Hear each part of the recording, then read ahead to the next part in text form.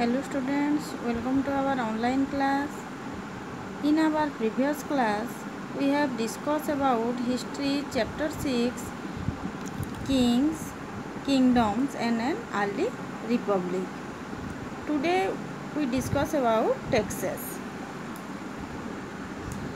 the kings maintained huge army and built mighty forts that required a lot of expenditure in order to administer their kingdoms, the kings appointed officials to collect taxes on a regular basis. All the producers of goods paid taxes to the king.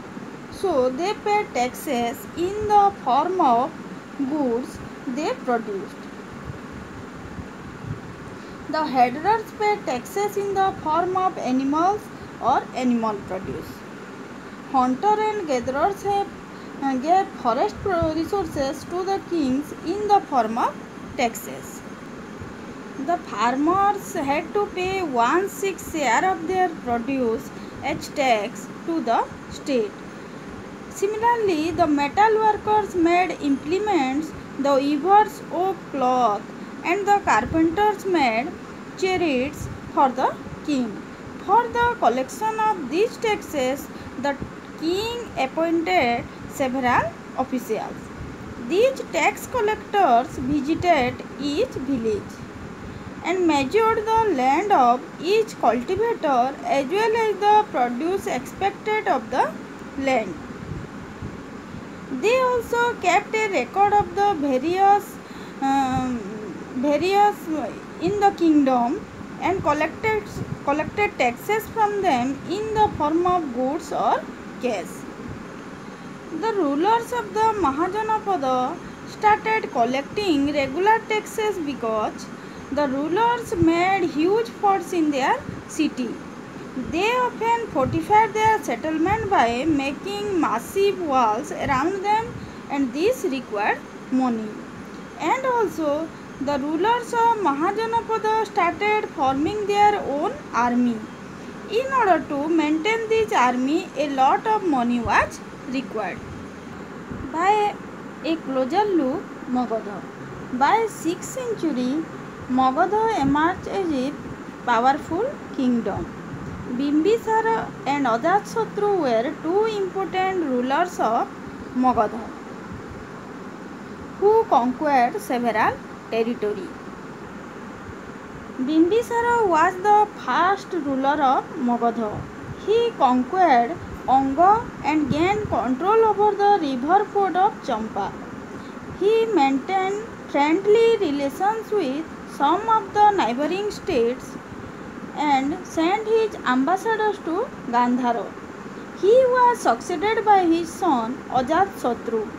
He annexed the kingdoms of Kosla and Bhaji. During his rule, Magadha emerged as a powerful kingdom in northern India. Ajasatru, the son of Bimbisara, was a very ambitious ruler of Magadha. He ruled over Magadha from 4, um, 493 BC to 462 BC. He invaded Kosala and annexed the kingdom of Kashi.